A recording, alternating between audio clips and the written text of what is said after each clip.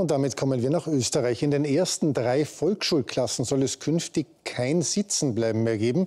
Und an den einzelnen Schulen entscheiden Lehrer und Eltern gemeinsam, ob es Ziffernnoten oder eine verbale Beurteilung gibt.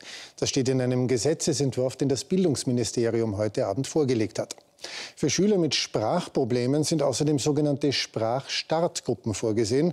Und das scheint auch dringend nötig. Am Ende der Volksschule können nämlich beunruhigend viele Kinder nicht richtig lesen. 25 Prozent der Zehnjährigen schaffen die vorgegebenen Lesestandards nur teilweise und 13 Prozent schaffen sie gar nicht, wurde letzte Woche bekannt. Und die Probleme setzen sich nach der Volksschule fort. Ein Drittel ihrer Schüler werde wohl nie einen Job finden, hat die Direktorin einer neuen Mittelschule in Wien kürzlich dem Kurier erzählt, keineswegs zur Freude ihrer Vorgesetzten. Harald Jungreitmeier hat sie besucht. Das ist Andrea Wallach, Direktorin der neuen Mittelschule Gassergasse im 5. Wiener Bezirk. Sie hat vor kurzem mit einem Interview für Aufsehen gesorgt. In der Tageszeitung Kurier hat Wallach darüber gesprochen, dass viele ihrer Schüler am Arbeitsmarkt keine Chance haben. Ein Drittel unserer Kinder sind insofern nicht vermittelbar, weil ihnen Kompetenzen fehlen, hauptsächlich auch die Sprachkompetenz. Die NMS Gassergasse ist, was man eine Brennpunktschule nennt. Die 250 Schülerinnen haben 30 verschiedene Muttersprachen. Deutsch ist kaum darunter. Und so kommt es, dass acht von zehn Schülern Kinder sind, die in der Alltagssprache bestehen können, aber der Unterrichtssprache Deutsch nicht ausreichend folgen können. Die Kinder kommen aus ärmeren und bildungsfernen Verhältnissen. Die Eltern sprechen oft selbst nicht Deutsch und die Schüler kennen kaum etwas anderes als ihre unmittelbare Umgebung, sagt eine Lehrerin über ihre 14-jährigen Schützlinge. Wir müssen den Kindern immer wieder ganz, ganz einfache Wörter erklären. Ja, das heißt, äh, der Sprachschatz ist schon einmal nicht vorhanden. Wenn wir über den Wald sprechen. Sie wissen sie nicht, was ist eine Birke, was ist eine Erle, was ist.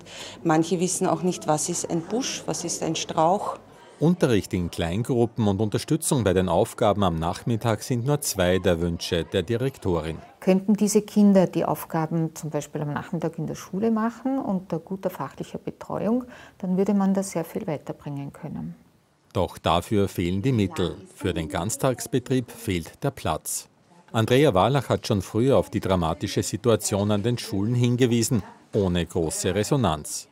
Das ist diesmal in den Medien und unter den Kollegen anders. Also ich erfahre jetzt von ganz vielen Kolleginnen und Kollegen, dass sie sagen, du ja, ich kann dir da nur voll und ganz zustimmen. Bei uns ist das ganz genauso, wenn nicht etwas schlechter sogar. Auch das Ministerium reagiert. Man unterstellt Wallach Unkenntnis und richtet ihr über die Schulaufsicht aus. Wenn ich basale äh, basale Kenntnisse über Grund- und über Lehr- und Lehrtechniken nicht kenne, dann solle ich mich hüten, in der Öffentlichkeit meine Meinung kundzutun.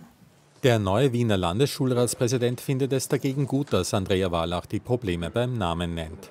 Er hat die Schule besucht und will helfen. Dazu braucht er aber mehr Geld.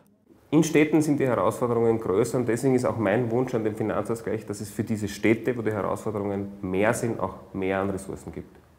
Mehr Geld wünscht man sich auch an der Volksschule Gassergasse. 40 Sprachen, 98 Prozent der Schüler sind nicht deutscher Muttersprache. Das Problem ist, die Kinder haben fast keine Bücher zu Hause, die Eltern können nicht lesen, es liest ihnen niemand vor und sie haben den ersten Kontakt mit Büchern frühestens im Kindergarten. Dazu komme, dass zu Hause nicht nur in der Muttersprache gesprochen, sondern via Satellit auch ferngesehen wird. Was brauchte es, um die Kinder besser fördern zu können? Für mich wäre eine große Hilfe bereits, wenn ich in jede Klasse zwei Lehrer stellen könnte. Zwei Lehrer, die die Kinder kennenlernen und die dann wirklich auf individuellster Basis mit den Kindern arbeiten können. Und am besten drei verpflichtende Kindergartenjahre. Sowohl an der Volksschule als auch an der neuen Mittelschule Gassergasse sind die Lehrerinnen mit großem Engagement bei der Sache. Sie stoßen aber an ihre Grenzen. Ich muss zugeben, ich mache in meinem Privatleben, was die Schule betrifft, dicht. Weil ansonsten würde ich diesen Wahnsinn und diese tägliche Belastung wahrscheinlich gar nicht aushalten.